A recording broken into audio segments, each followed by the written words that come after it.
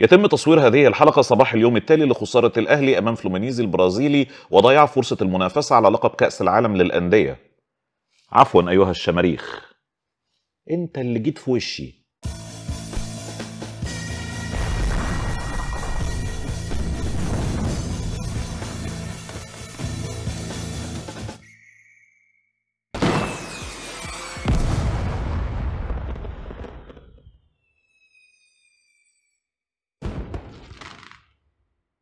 السلام عليكم ورحمة الله وبركاته. أهلا وسهلا بكم في مراجعة جديدة على فيلم جامد والفيلم اللي هنتكلم عنه النهاردة هو شماريخ. زي ما أنتم شايفين كده رجعنا ل setup ممكن يكون قديم شوية slash جديد جدا حاجة مش مفهومة يعني. وطبعا أي تغيير كبير هتيجي معاه مشاكل كبيرة. أنا قلقان من الصوت شويتين قلقان من الإضاءة شويتين. هنشوف الدنيا هتمشي إزاي. وطبعا أنتوا هتساندونا لايكات ودعم وأيوة يا مهدي ومعلش وإن شاء الله بإذن الله الدنيا تتحسن مع الحلقات اللي جاية. وأصلا مفيش مشاكل. والمهم إن إحنا شايفينكم بمعنى آه الحاجات من دي يعني. ومن أكتر الحاجات اللي متوقع إن أنا أتلخبط فيها هي إن أنا أفتكر إحنا كنا بنعمل إيه أصلا. يتهيألي أول حاجة كنا بنعملها هي إننا بنقدم قصة الفيلم. وقصة الفيلم بتدور عن شخصية بارود أو رؤوف. الابن الغير شرعي لأحد زعماء الجريمة في تجارة السلاح واللي يعتبر قائد أو عنصر مهم جدا في عدد من العمليات الغير نظيفة لصالح والده اللي لسه ما اعترفش بيه. وفي أحد هذه العمليات بارود طريقه بيتقاطع مع أمينة. وبيكون مطلوب منه إنه يتولى أمرها اللي هو يعني خلص عليها. وطبعا بارود بيرفض عشان يبقى شريك ليها في رحلة هروب مليئة بالمعارك والقتل والصواريخ والشماريخ والأسرار. فيا ترى إيه اللي هيحصل؟ فيلم شماريخ فيلم أكشن مليء بالأفكار المستعارة من أفلام أخرى متدني على المستوى الدرامي مقبول على المستوى الحركي ومتفوق على المستوى البصري. تقول الأستاذة Ghost in Circuit على منصة إكس أن فيلم شماريخ كان مصمم يخلق الأب وابنه بتوع فيلم Gladiator هي هنا ما تقصدش العلاقة ما بين الأب وشخصية رؤوف هي العلاقة ما بين الأب وشخصية فارس اللي يعتبر الشرير الأساسي عندنا في الفيلم. ودي فعلا واحدة من الاستعارات الكتيرة جدا اللي حسيتها وأنا بتفرج على على الفيلم. استعارات من حاجات كتير منها مشهور جدا ولازم المقارنة تفرض نفسها زي مشهد قتالي مماثل للمشهد القتالي الأشهر من فيلم Oldboy وزي أبعاد علاقة فعلا فكرتني بشكل كبير جدا بفيلم Gladiator وزي أبعاد علاقة تانية ورحلة تانية فكرتني بشكل كبير جدا بفيلم أبو علي وحاجات تانية ممكن تكون طارت تحت الرادار شوية زي مثلا الموقف اللي حط بارود وأمينة في طريق بعض من البداية. ده نسخ ولصق من فيلم Conspiracy Theory لدرجة إن حتى عنصر عنصر ثانوي في المواجهة ديت زي القهوة.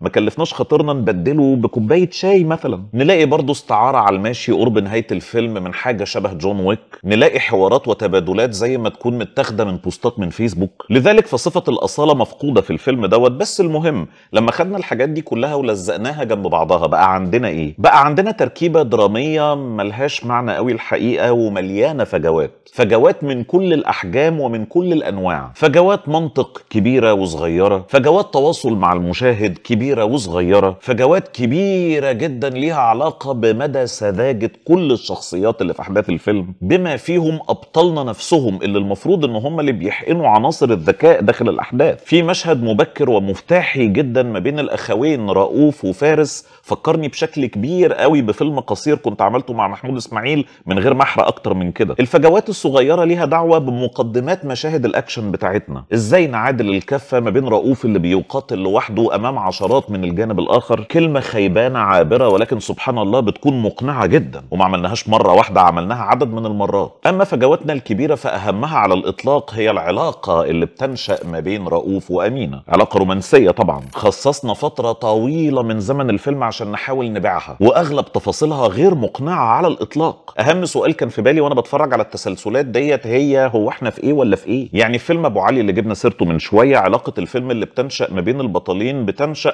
رغم الظروف الصعبة اللي بيمر بيها الشخصيتين ولكن ما هياش ظروف حياة أو موت يعني. ولكن هنا عشرات ومئات الجثث عمالة تسقط وفي نفس الوقت الاتنين عندهم وقت إن هم يحبوا بعض. أما على المستوى الحركي وفعلا على الرغم من عدد كبير جدا من الاستعارات فالدنيا إلى حد كبير مقبولة. مفيش إنجازات كبيرة قوي على مستوى تصميم المعارك والتسلسلات بتاعتها. يمكن آسر ياسين تعب نفسه شوية في المشاهد بتاعة الاشتباك والضرب. على الجانب الآخر مش حاسس إن هو تعب نفسه اطلاقا في مشاهد قيادة الدراجة النارية. بل لو عاوز أرمي رهان كده في الضلمة أظن إن هو ما ساقش موتوسيكل في الفيلم ده على الإطلاق. أغلب المشاهد ديت يا إما لقطات من ظهره يا إما لقطات بالخوذة. بس زي ما بقول كده حاولنا نقلد أولد بوي فعملنا تسلسل طويل شوية معقول. عالم الألعاب النارية اللي إحنا موجودين جواه ادانا بعض الأسلحة المبتكرة واللي ما بنشوفهاش كتير. وجرأة الفيلم في إنه يتعامل مع عدد كبير من مشاهد القتل شيء أنا بحييه بصراحة. بس العنصر اللي بيميز مشاهد الأكشن بشكل خاص هو نفس العنصر اللي بيميز الفيلم بشكل عام وهو التجربة البصرية. بطلنا الغطاء بتاعه هو تجارة البومب والصواريخ والشماريخ والحاجات دي. وعصابتنا عندها بصمة بإنها بتستخدم الحاجات ديت عشان تغلوش على العمليات اللي بتقوم بيها. استعارة من The Departed بس خليها تعدي يعني. المهم إن ده بيدي اختيارات حلوة جدا في الألوان بيدي اختيارات حلوة جدا في الإضاءة بيدي اختيارات طبيعية جدا في التعامل مع الدخان. وإحساسي الشخصي إن استثمار ده كان بشكل ناجح. أستاذة رنيم على منصة إكس بتقول هو إزاي فيلم شماريخ حلو كده؟ لا ده سؤال لازم يتجاوب. هو إزاي حلو كده؟ لازم تشرحي. من العناصر اللي أربكتني إلى حد كبير أثناء مشاهدة الفيلم هي الموسيقى التصويرية لأنها حلوة. لوحدها في تقديري الشخصي غير مناسبة للأحداث اللي إحنا بنتفرج عليها. وفي نفس الوقت مش قادر أحدد هي إيه الموسيقى اللي كانت هتبقى مناسبة للأحداث اللي إحنا بنتفرج عليها. لأن بالإضافة للمشاكل اللي اتكلمنا عليها إحنا عندنا مشكلة واضحة في قراية الجو العام للأحداث. وبالتحديد في محاولة حقن المشاهد الكوميدية. أنتوا عارفيني يا جماعة أنا صعب قوي أتضايق من حاجة زي دي. ولما بتغيب بنادي بيها وبطالب بيها. بس المرة دي لأ مشاهد كتير لا تستدعي على الإطلاق محاولة الكوميديا بأي شكل وبأي نوع. فما بالك بقى لما تيجي بشكل كوميديا بتاعت سمير غانم. أستاذة مريم بتقول حبيت فيلم شماريخ واستمتعت بيه جدا بجد جميل جدا الفيلم وتفاصيله تحفة تفاصيله بالتحديد. أمينة خليل وآسر ياسين تجننوا وأبدعتوا هي بتكلمهم هم. والكيمياء بينكم حلوة قوي وعاملة لهم تاج كذلك وجدير بالذكر إن لا أمينة خليل ولا آسر ياسين ردوا عليها.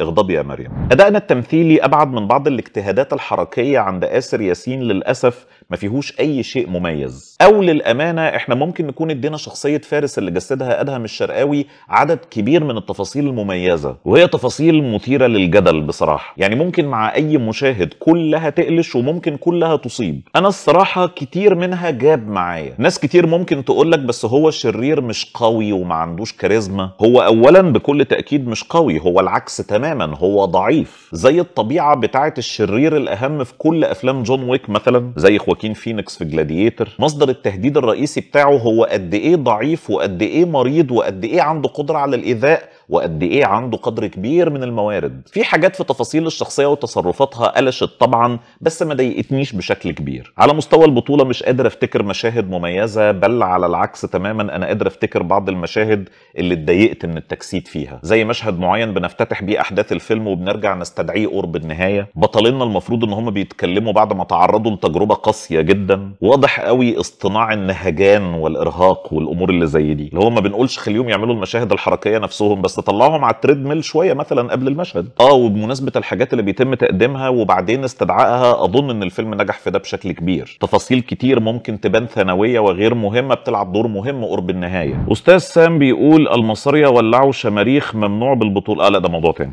أستاذ Triple A بيقول كنت فاكر فيلم شماريخ ده هيبقى كله بومب وصواريخ بقى وصداع. وطلع كده فعلا.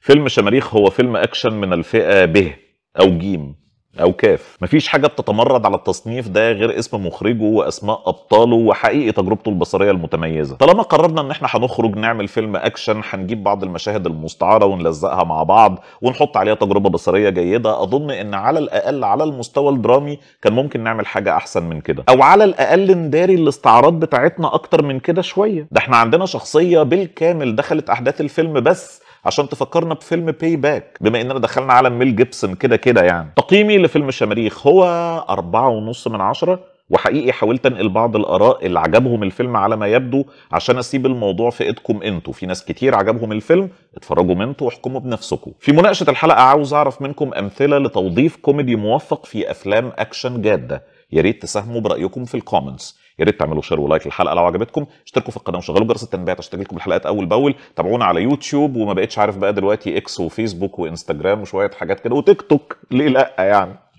و bye bye.